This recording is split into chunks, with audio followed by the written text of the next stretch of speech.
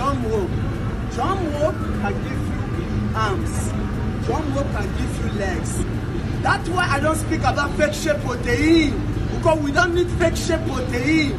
Fake shake protein don't give muscles.